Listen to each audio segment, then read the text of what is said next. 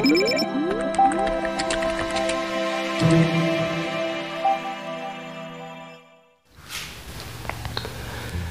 semuanya, ketemu lagi dengan Unbox Review.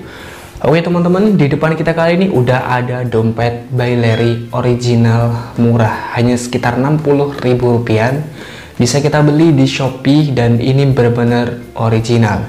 Dan untuk teman-teman yang mau beli dompet ini dan mungkin penasaran sebenarnya dompet ini bagus gak sih dan apakah layak atau tidak untuk kita beli mending kita simak aja dulu videonya. Tapi sebelum itu untuk teman-teman yang belum subscribe channel ini silahkan teman-teman bisa subscribe aja dulu teman-teman supaya teman-teman tidak ketinggalan informasi terbaru dari kita.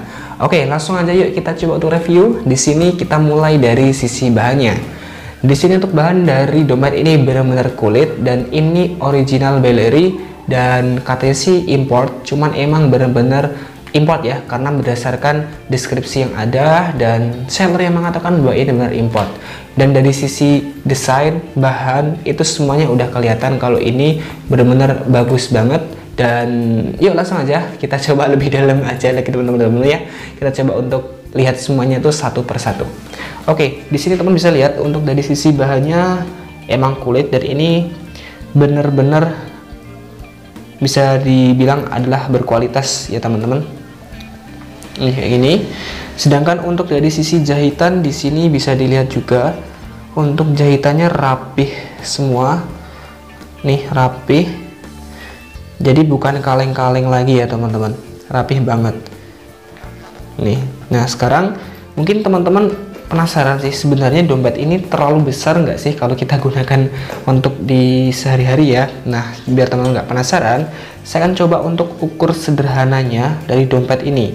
Untuk panjang dari dompet ini sekitar 19 cm sedangkan untuk lebarnya ini kurang lebih sekitar 10 cm sedangkan untuk ketebalannya ini sekitar ini tanpa isi ya teman-teman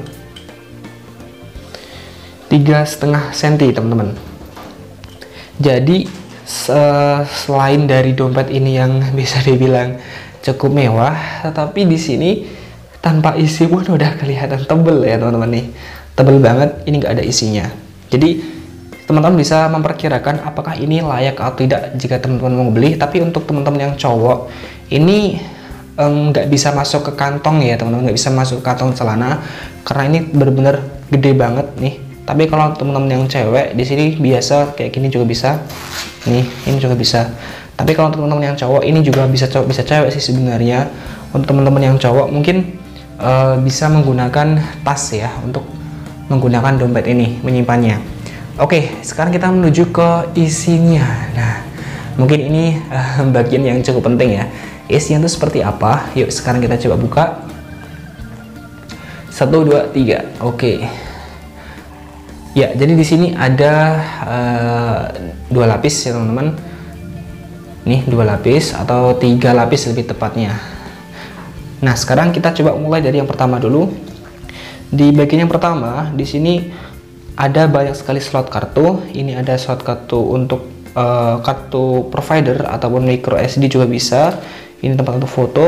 Ini juga bisa banyak banget nih seperti ini dan kemudian tuh di sini masih ada satu sisi yang bisa teman manfaatkan untuk mengisi uang atau apa. Sedangkan untuk yang di sini ini kosong nggak ada sama sekali. Nih nggak ada ya. Nah sekarang untuk di lapisan yang pertama ini udah. Sekarang menuju ke lapisan yang kedua. Nah di sini adalah lapisan yang paling utama teman-teman. Nah di sini teman-teman bisa lihat apa aja yang uh, teman-teman butuhin ya termasuk slot-slot seperti ini. Ini sangat penting banget ya teman-teman. Ini sangat penting. Ini ada banyak sekali slot dan mungkin jika teman-teman seperti saya banyak sekali kartu-kartu seperti ini maka ini cocok banget ya teman-teman.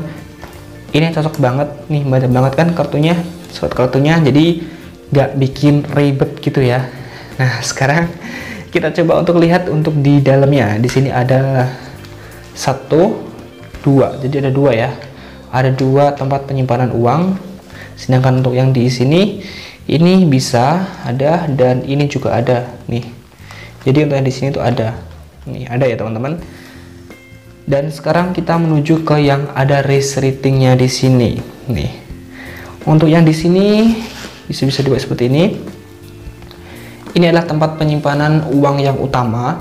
Ini tuh bisa ngisi uang banyak ya. Ini bisa mengisi uang banyak. Nih tebel banget bisa digunakan untuk menyimpan uang yang cukup banyak. Di sini di tengahnya juga ada restricting lagi seperti ini. Nih. Nih. Jadi ini bisa digunakan untuk menyimpan uang receh atau apa juga bisa. Jadi cocok banget nih teman-teman. Ini digunakan untuk mengisi handphone pun juga muat ya karena panjang banget dan tebel. Ini juga muat untuk digunakan untuk uh, meletakkan handphone. Ya sekarang kita coba tutup dan kita lihat secara global dari keseluruhan dompet ini.